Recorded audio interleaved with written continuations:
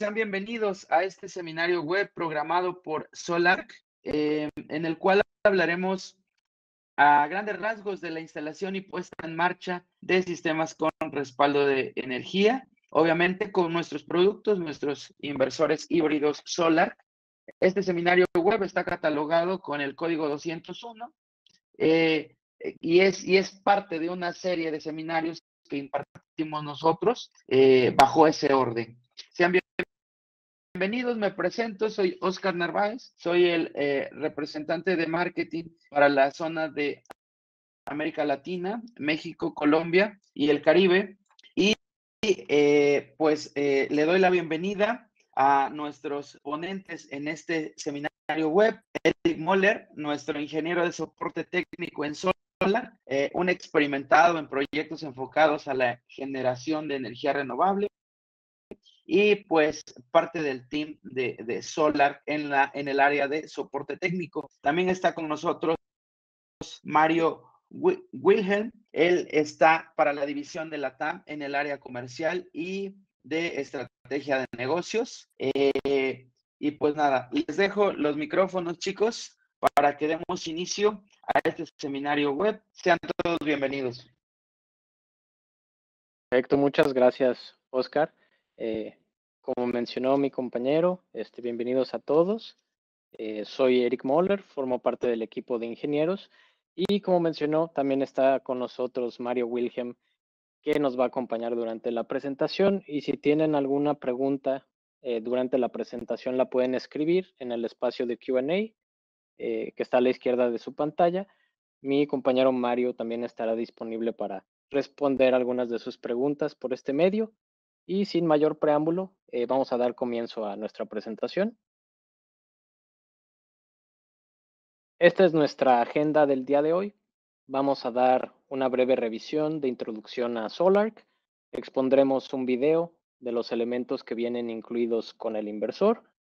Revisaremos también nuestro diagrama de línea, eh, nuestros diagramas básicos y las conexiones de cableado de corriente alterna y corriente directa.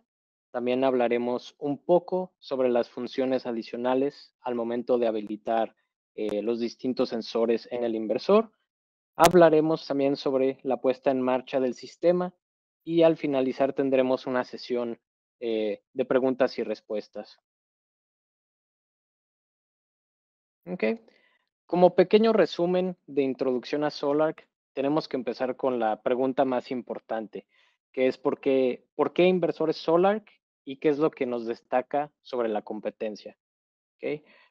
Solarc diseña inversores híbridos de solución poderosa y robusta que ofrecen la mejor tecnología del mercado, una instalación mucho más rápida y sencilla y que son lo suficientemente versátiles como para satisfacer una amplia variedad de casos de uso para el usuario final y al mismo tiempo nos brindan una confiabilidad de grado militar.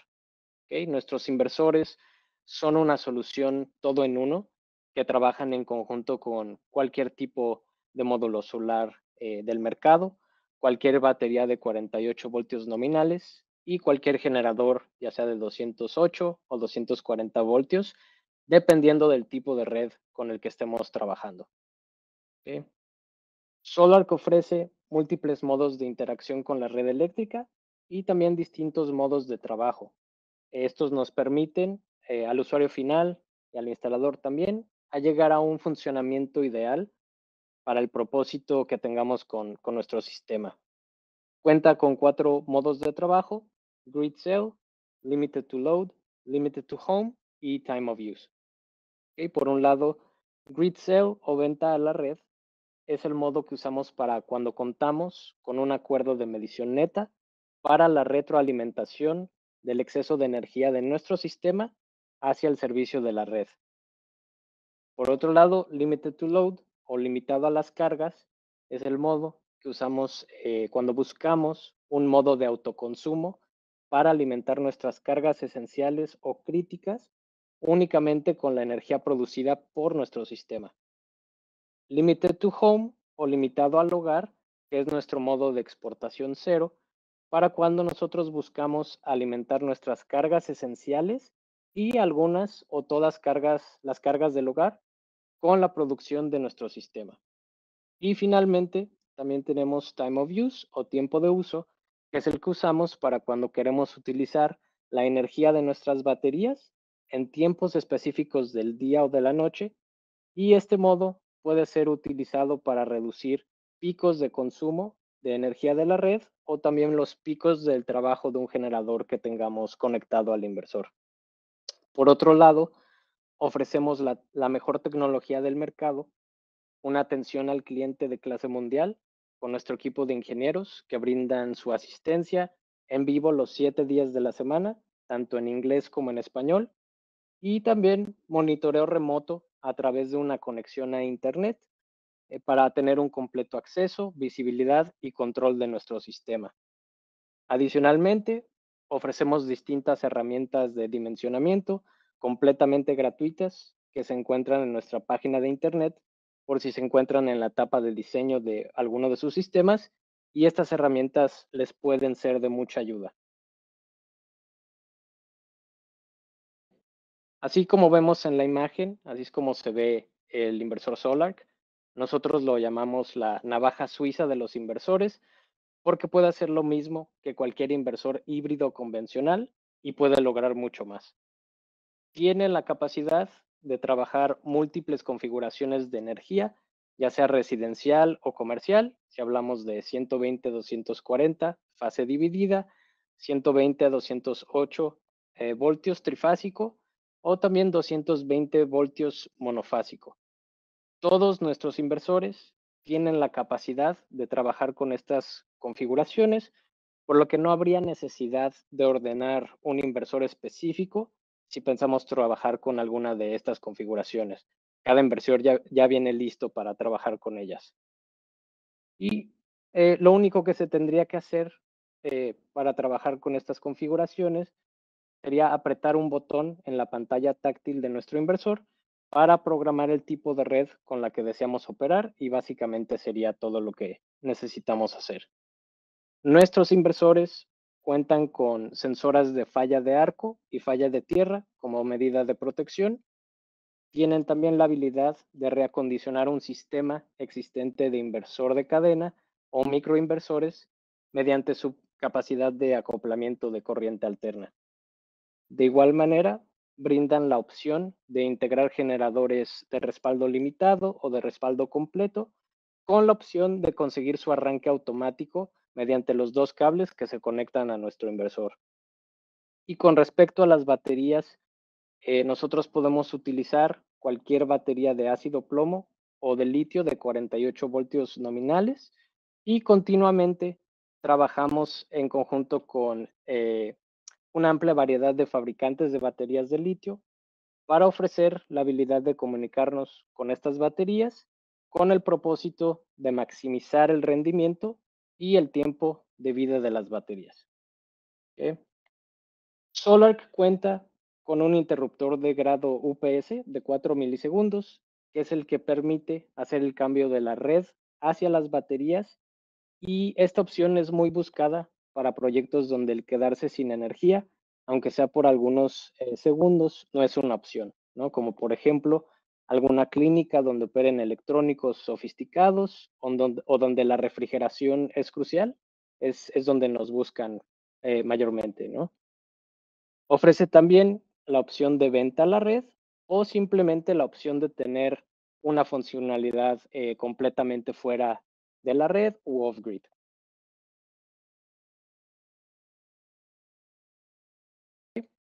Todos nuestros inversores utilizan nuestra plataforma de monitoreo remoto eh, que se llama PowerView. Es una plataforma completamente gratuita es de por vida también y simplemente lo único que necesitamos es una conexión a Internet, ya sea Wi-Fi o Ethernet, eh, que sería el único requisito para poder utilizarla. Para nuestros instaladores, cuenta con una función de gestión de flota donde podrá eh, hacer una lista de las distintas plantas que se han comisionado y también podremos monitorear el funcionamiento eh, de la planta remotamente. Si vemos algún inversor en estado de falla, la belleza de esta plataforma es que podemos ver los datos registrados eh, del inversor a lo largo del tiempo y también realizar cambios remotos en el sistema si es que sea necesario. Del mismo modo, para un propietario del sistema, le da la tranquilidad de que puede trazar todos estos datos a lo largo del tiempo y también puede confiar en que nuestro equipo de ingenieros de soporte técnico de SolarC revisarán estos datos con ustedes para resolver cualquier eh, problema que se pueda presentar. Y por último, esta es una plataforma que está disponible eh, para formatos diferentes. Puede ser utilizado con el teléfono inteligente para sistemas iOS y Android, eh, también para tabletas o si prefiere un formato para computadora de escritorio o laptop, también ofrecemos esta opción. Ok, ahora vamos a pasar a un video del unboxing de uno de nuestros inversores. Y en el video, nuestro compañero Zach nos muestra eh, elemento por elemento, que es lo que viene incluido en nuestra caja. Y primero encontramos la percha francesa, que es para montar el inversor a la pared. Debajo de esta cubierta de protección encontramos el inversor. Y en este caso, este inversor tiene la etiqueta identificada para eh, contrapulsos electromagnéticos. A su derecha encontramos el manual del usuario también tenemos incluidos los toroides que envuelven los cables de la batería, al igual que la, protección de acrílico para la cabina de usuario. Luego, dentro de la cabina de usuario, vamos a encontrar un folleto con el código QR que nos va a direccionar a los distintos videos de introducción.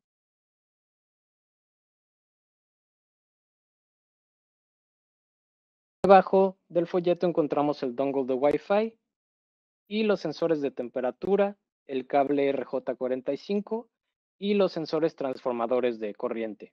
Que en la puerta de la cabina tenemos la estampa de especificaciones del inversor.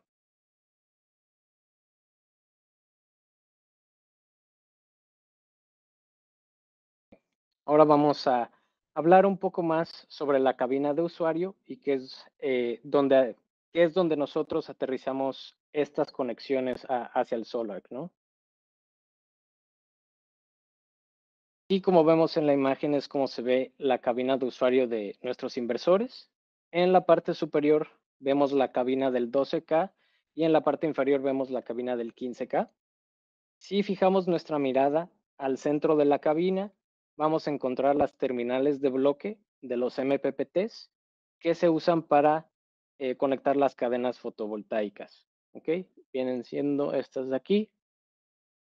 En el caso del 12K, tenemos dos MPPTs con una capacidad de 13 kilowatts, 6.5 kilowatts por MPPT y un total de cuatro cadenas. En el caso del 15K, tenemos tres MPPTs con una capacidad de 19.5 kilowatts, 6.5 kilowatts por MPPT y un total de seis cadenas. A la izquierda encontramos nuestro breaker de batería, es el que vemos de este lado, de 250 amperios para el 12K y 200 amperios de dos entradas para el 15K, que es donde nosotros podemos conectar nuestro banco de baterías. En el breaker de la batería, entre el breaker de la batería y de los MPPTs es donde nosotros encontramos las entradas designadas para conectar los distintos tipos de sensores del sistema. Es esta parte de aquí. Y más adelante vamos a hablar un poco más sobre estos sensores. A la derecha, en la parte superior, es donde nosotros encontramos los desconectores para nuestras conexiones de corriente alterna. Serían estas de acá. Y primero tenemos nuestro desconector de red de 63 amperios para el 12K y 200 amperios para el 15K, que es donde vamos a nosotros conectar la entrada de la red eléctrica. Después, a la derecha tenemos nuestro conector del generador de 50 amperios eh, para el 12K y 100 amperios para el 15K, que es donde nosotros podemos conectar la entrada de un generador de respaldo Podemos también retroalimentar un acoplamiento de corriente alterna y también tenemos la opción de conectar cargas inteligentes o smart loads. También tenemos el desconector de cargas eh, de 63 amperios para el 12K y 200 amperios para el 15K, que es donde nosotros podemos conectar las cargas de la casa. Y debajo de estos es donde eh, los desconectores, eh, abajo de los desconectores es donde vemos las barras de neutral y de ground, que son estas dos, para el 12K y esta para el 15K. Adicionalmente, el interior de estas dos cabinas, eh, la cabina de todos nuestros inversores, viene certificada como NEMA 3R para instalaciones al interperie. Esto quiere decir que la cabina y el inversor están completamente sellados y protegidos contra elementos externos como agua, polvo, arena, entre otros, y con el propósito de proteger los electrónicos internos de nuestro sistema. Ahora vamos a pasar a los diagramas. Este es el diagrama de una instalación estándar de, un, de una sola unidad 12K. Y básicamente tenemos un SolarC conectado a dos paneles. Primero tenemos el panel de cargas de respaldo conectado al desconector de, cargas, que sería este de acá. Y este es el panel al que el SolarC suministrará energía en caso de que la red eléctrica falle. A la derecha encontramos el panel principal de la casa, este de aquí, que es donde conectamos el breaker de alimentación fotovoltaica y es el panel que va conectado al desconector de red eh, del SolarC. Arriba de este panel encontramos nosotros los sensores CTs o transmisores de corriente, que son los que abrazan cada uno de los cables de alimentación de la red y deben de ser colocados entre el panel principal y el medidor de la red eléctrica. Como podemos ver, las dos flechas eh, de los CTs van en dirección eh, hacia la red eléctrica y esta sería la forma en la que nosotros debemos conectar una configuración 120.240. Debajo del panel de respaldo, esta parte de aquí, nosotros encontramos un elemento opcional que puede ser utilizado para conectar un generador de respaldo o un inversor acoplado eh, de corriente alterna o también podemos conectar smart loads. El sistema, por supuesto, por otro lado, cuenta con su propio arreglo fotovoltaico que se conecta directamente a las entradas fotovoltaicas para los MPPTs. Y por último, a la izquierda, hasta la izquierda, encontramos el banco de baterías conectadas al breaker de, sus baterías, que es la parte que nosotros vemos acá. Okay. Las líneas azules son básicamente los otros sensores que necesitamos para operar eh, el sistema. En este caso, ahora estamos hablando de un diagrama de una sola unidad usando un 15K. Y podemos ver que en el diagrama no conectamos eh, o no contamos con el panel de cargas esenciales. Al tener un breaker de 200 amperios, el inversor está diseñado para alimentar una casa promedio completa, por lo que el panel de cargas críticas eh, puede no utilizarse. Sin embargo, el diagrama es bastante similar al que acabamos de observar. Lo único que cambia, además del panel, sería el desconector de 200 amperios de la red, que sería la única pieza de hardware adicional eh, necesaria para lograr esta instalación. Y ahora vamos a revisar una instalación de unidades en paralelo. Y como podemos ver en el diagrama, ahora nosotros tenemos una unidad maestra que en este caso es la unidad que emite los comandos de instrucción y también una unidad estudiante, que es la que copia o sigue estos comandos. Lo más importante que debemos de recordar con este tipo de configuración es que vamos a poner en paralelo todas las conexiones de salida y de entrada del sistema, con la excepción de los paneles solares. Cada unidad en este sistema tiene su propio arreglo los fotovoltaicos, pero todo lo demás eh, debe de estar compartido. la batería está compartida y también las salidas y las entradas están compartidas. Por otro lado, los cables de los distintos sensores deben de ser conectados a la unidad maestra, Y todo lo demás debe de ser compartido y combinado eh, mediante los combinadores. Eh, con los sistemas en paralelo, depende del cliente y del código eléctrico en cuanto a cómo se debe de combinar todas estas conexiones y podemos utilizar protección contra sobrecorriente o simplemente usar conectores Polaris o un tipo de combinador de barra colectora de corriente alterna. En este diagrama podemos ver, a diferencia del diagrama anterior, que configuramos el sistema sin un subpanel de cargas de respaldo y en este caso utilizamos un bypass de transferencia que por un lado recibe la energía de la red eléctrica y por el otro lado obtenemos el poder entregado por el inversor para suplir cargas a la, a la casa, al panel de la casa. Ok, y en el caso que se necesita hacer mantenimiento al inversor o hacer alguna modificación al sistema, simplemente podemos poner la palanca del bypass hacia la posición de la red eléctrica para que la red supla eh, nuestras cargas momentáneamente y nosotros así poder trabajar eh, con el sistema. Además, en esta situación, cuantos más SolarX agreguemos nosotros, más grande eh, será nuestra capacidad y más grande puede ser el tipo de generador conectado al breaker de generador y así poder aprovechar eh, mucho más la capacidad de nuestro sistema. Ok. Y ahora estas son nuestras conexiones de corriente directa. Primero tenemos el breaker de la batería. Aquí es donde conectamos el cable positivo y el cable negativo de nuestro banco de baterías.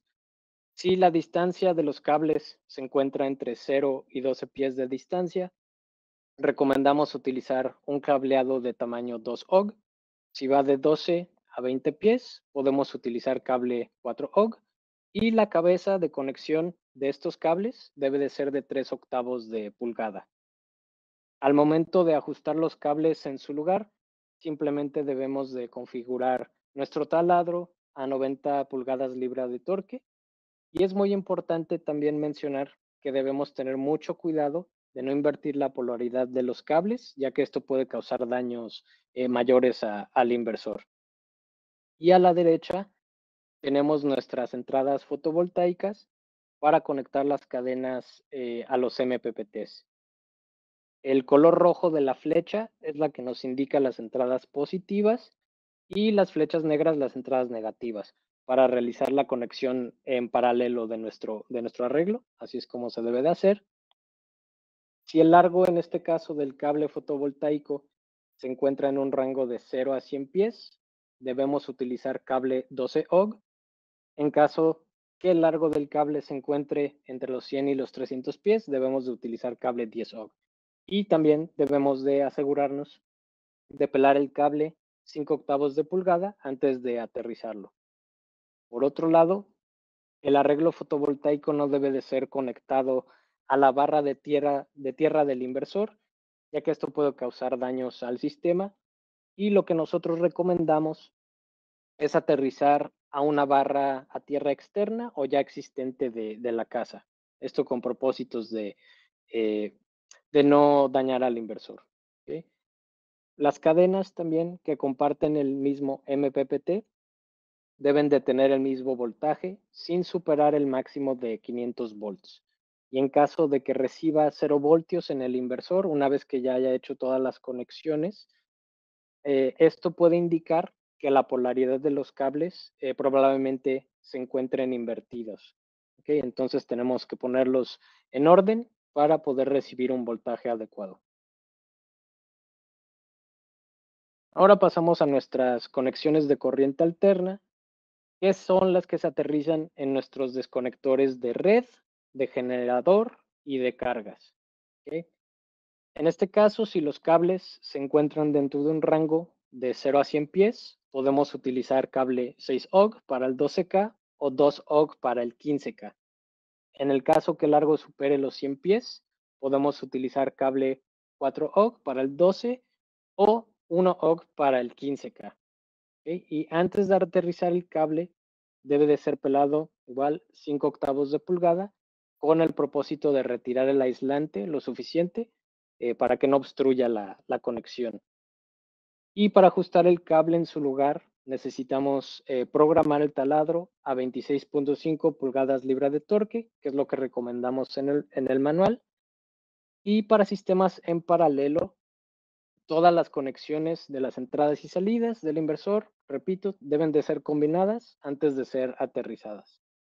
Y es muy importante que mantengamos las fases de nuestro sistema constantes y que marquemos los cables con algún tipo de identificador, ya que si tenemos las fases incorrectas o entrecruzadas, esto eh, podría botar breakers o causar daños también a la unidad o a las unidades que tengamos eh, conectadas. Ahora pasamos al área de asignación de sensores, que es la que nos da la capacidad de expandir las funciones de nuestro inversor en caso de, que las habilitemos, en caso de que conectemos los cables. Y en este caso, los cables que se deben de utilizar eh, para esta área eh, son típicamente de 20 a 24 OG, que son unos cables relativamente delgados.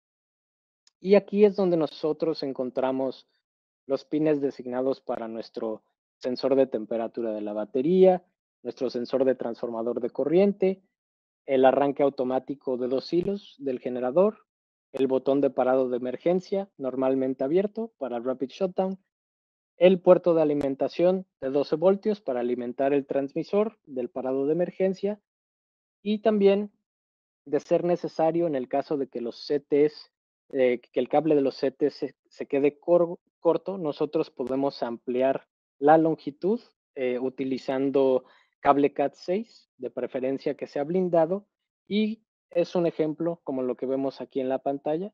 Podemos usar el mismo cable CAT6 para alargar eh, nuestros sensores transmisores de corriente. Ok, ahora pasamos, esta es una pequeña nota sobre sensores, de los CTs, los transformadores de corriente. Nuestros inversores ya son enviados con un par de CTs de 100 amperios diseñados para adaptarse a cables alimentadores de 2 OG, que son comúnmente encontrados en la mayoría de los paneles residenciales de 200 amperios. Estos CTs deben de ser dimensionados de acuerdo al tamaño de los cables de alimentación del panel principal. Si cuenta con cables de 4 OG, nosotros ofrecemos CTs grandes que pueden ser utilizados sin problema y también CTs extra grandes si el cable supera los 4 OG. En el caso de que requiera un tamaño mayor de, para los CTs, les pedimos que se pongan en contacto con nuestro departamento de, ventas. En la sección de preguntas y respuestas compartimos estos, ah, el, teléfono de ventas, también el correo electrónico, así que les pedimos que los apunten ya que esto es absolutamente necesario en el caso de que se presente. Y también es importante mencionar que los setes deben de ser instalados en la ubicación correcta. Eh, si nosotros deseamos trabajar en el modo de trabajo eh, que se llama Limited to Home, en este caso necesitamos los setes y los setes deben de ser instalados entre el panel principal y el medidor de la compañía de luz, como viene establecido en los diagramas de, nuestro manual, como el que vimos eh, al principio. O también en el caso que querramos hacer eh, afeitado de picos para algún generador, siempre y cuando eh, conectemos el generador al desconector de la red, los setes deben de ser instalados del lado de la carga del generador, del generador eh, con las flechas apuntando hacia el mismo generador, como nosotros podemos ver aquí en la imagen. Ok, si queremos utilizar un generador portátil o uno un poco más grande para respaldar nuestras cargas. Esto se puede conseguir con nuestros inversores sin ningún problema. El Solarc puede interactuar con cualquier generador de 120 a 240 voltios o 208 voltios trifásico, de preferencia con un THT o distorsión armónica menor al 15%, con el propósito de hacer mucho más fácil la conexión del generador al Solarc. Y la salida del generador también puede ser aterrizada en la entrada del desconector del generador o puede ser aterrizada en el desconector de red mediante un transfer automático o manual. Si nosotros eh, planeamos conectar el generador por medio del desconector de la red, debemos programar también el SolarC para dejarle saber que hemos conectado un generador por este medio, ya que no queremos vender energía de vuelta al generador. Y en el caso de que el generador cuente con los dos cables de activación, esto puede ser conectado a nuestro inversor, puede ser conectado al SolarC, al área de sensores, para encender el generador automáticamente cuando las baterías llegan al estado de carga programado para ser cargadas con el generador. Y estos son simplemente algunos detalles importantes sobre el acoplamiento de corriente alterna. El inversor que deseamos retroalimentar al SolarC debe de contar con la certificación UL 1741SA. Esta certificación permite que se haga el cambio de frecuencia para controlar la salida de este inversor o de microinversores, en dado caso que utilicemos los microinversores. Es importante también contar con un acuerdo de medición neta para utilizar esta función en el caso eh, que nuestro sistema esté interconectado a la red y la salida del sistema acoplado puede ser también aterrizado en la entrada del desconector del generador o directamente en el panel de cargas. ¿okay? Eh, nosotros lo que recomendamos ampliamente sería utilizar la entrada del generador, ya que en este caso podríamos tener la habilidad de monitorear la producción del sistema acoplado en nuestra plataforma de monitoreo y saber cuánto estamos produciendo, eh, hacia el sistema. Y ahora pasamos a la funcionalidad eh, Smart Loads o de cargas inteligentes, que es, es esencialmente un centro de carga adicional o un centro de carga de respaldo que puede ser conectado a nuestro desconector de generador o al de grid, al, al de gen, perdón, eh, en caso de que se encuentre disponible, ¿no? Hay muchas veces que ya tenemos algo ahí conectado, no lo podremos utilizar, pero en caso de que esté disponible, podemos conectar eh, este tipo de cargas. Eh, y esta funcionalidad está diseñada para nosotros poder conectar cargas que consideramos como un lujo. Estos son artículos que sabemos que van a demandar demasiada energía del sistema por lo que no siempre vamos a querer tenerlos encendidos cuando la red eléctrica no se encuentre disponible. Y un pequeño ejemplo de estas cargas podría ser un calentador de agua o un mini split de aire acondicionado. Por lo tanto, durante un apagón, el solar mantendrá estos aparatos encendidos siempre y cuando haya suficiente, eh, suficiente producción de energía solar fotovoltaica y si las baterías hayan alcanzado el estado de carga designado, que es el que nosotros programamos en el inversor. Y luego, por supuesto, siempre podemos programar que estas cargas inteligentes permanezcan encendidas siempre y cuando la red eh, se encuentre presente.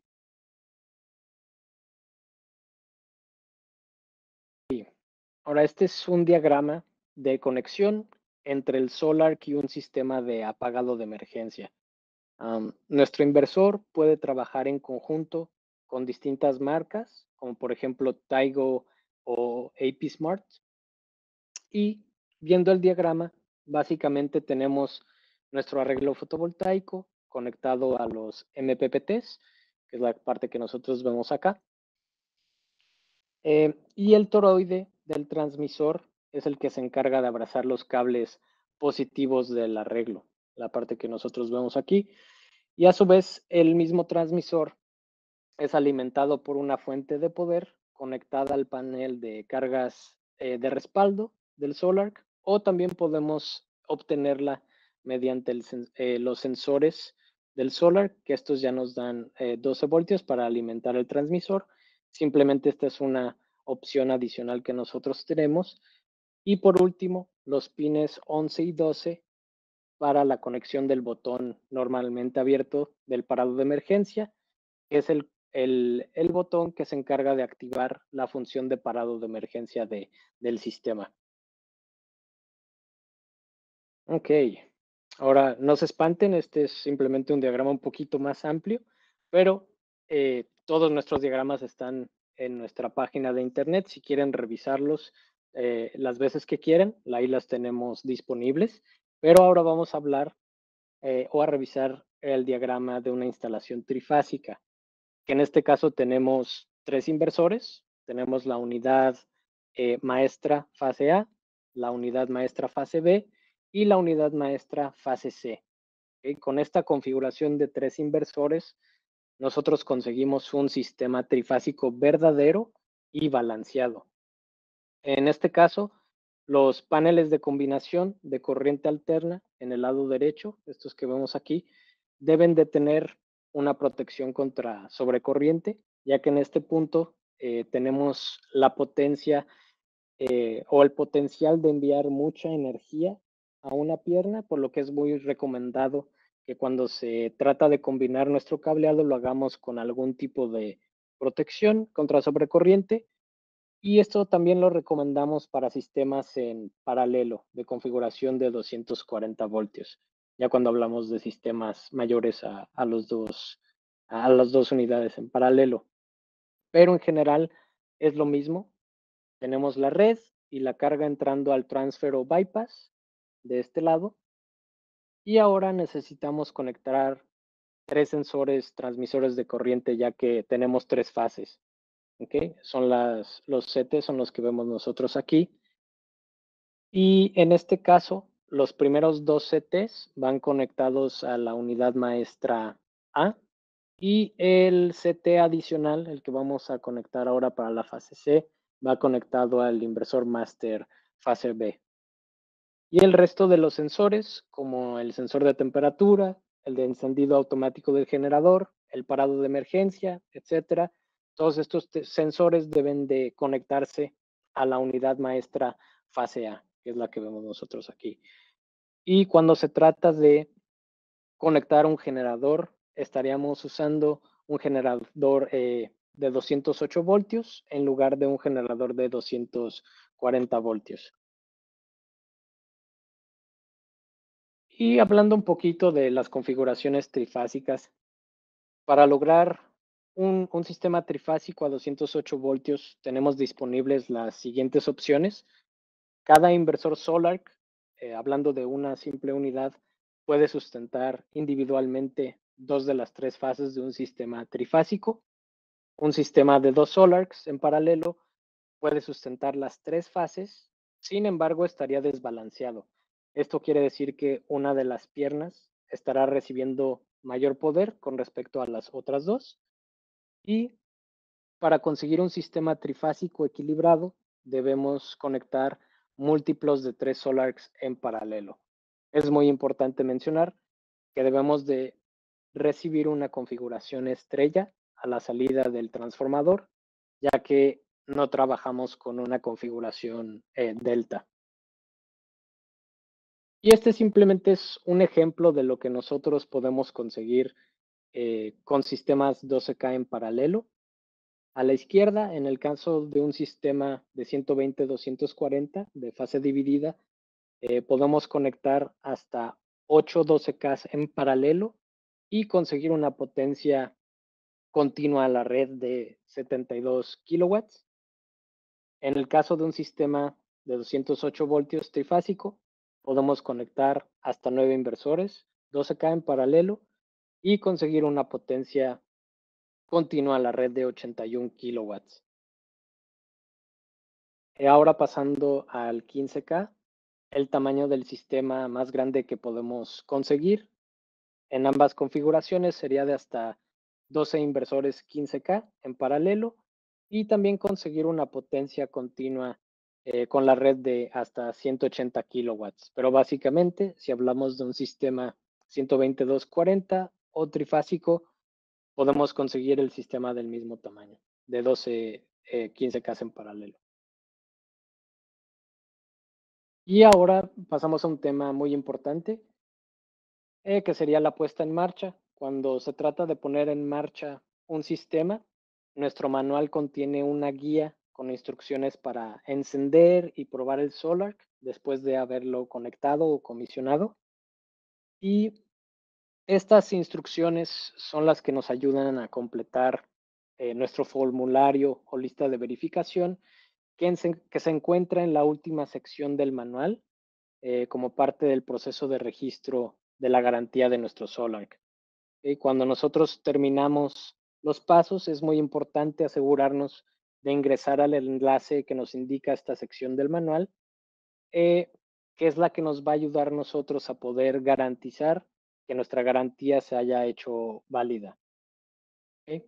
Y esta lista de verificación simplemente nos ayuda a determinar si hemos instalado el SOLARC correctamente o si omitimos algunos de los pasos para realizarlo. Y el principal objetivo de la guía eh, de verificación es de corroborar que la puesta en marcha se haya realizado adecuadamente. Y por último, si tienen curiosidad de revisar más contenido sobre nuestros inversores, los invitamos a que revisen nuestro canal de YouTube, donde podrán encontrar nuestra selección de videos educativos, tanto en inglés como en español, y simplemente tienen que escribir en la barra de búsqueda SOL-ARK, SOLARC, y les aparecerá, les aparecerá nuestro canal, perdón. Y si le dan clic a la opción de videos, les va a desplegar todos los videos que nosotros tenemos eh, en el canal. Por otro lado, si le dan clic a la opción de listas, este les va a desplegar las listas de reproducción por categoría, donde podrán encontrar nuestra guía de instalación, tanto en inglés como en español, y todos los videos un poco más organizados. Y es un recurso muy bueno como para refrescar la, la memoria.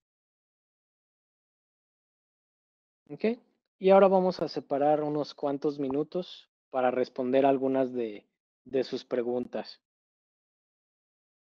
Eric, eh, Mario ya nos ayudó respondiendo algunas, sin embargo, me gustaría em, dar énfasis a lo mejor de, voz tuya con algunas eh, dudas. Primero preguntan que, em, a ver, dame un segundo. Para los que preguntan que si el webinar se va a grabar, efectivamente lo vamos a subir a nuestro canal de YouTube y uh, más tarde la próxima semana al correo que nos proporcionaron, les vamos a estar haciendo llegar el, enlace para que lo puedan ver nuevamente.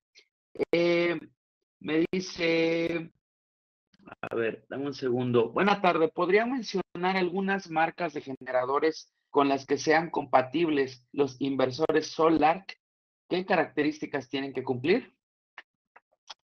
Bueno, em, hablando de marcas, de algunas que se vienen a mi cabeza ahorita, eh, Generac sería yo creo que la primera.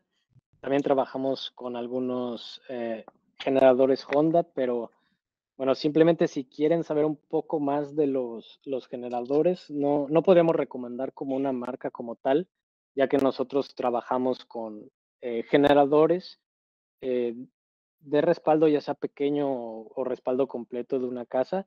los únicos requisitos que en este caso pedimos es que si está trabajando en una configuración 120-240, nosotros busquemos un, generador que funcione con 240 voltios, o si es trifásico, que busquen uno que sea de 208 voltios y que tengan un eh, THD, una distorsión armónica menor al 15% para facilitar mucho más la conexión con nuestro SolarC. Y también, muy importante, si están en búsqueda de un generador, eh, que garanticen o que verifiquen con, eh, con fábrica, con el manufacturero, que dicho eh, generador cuente con los dos cables de activación automática.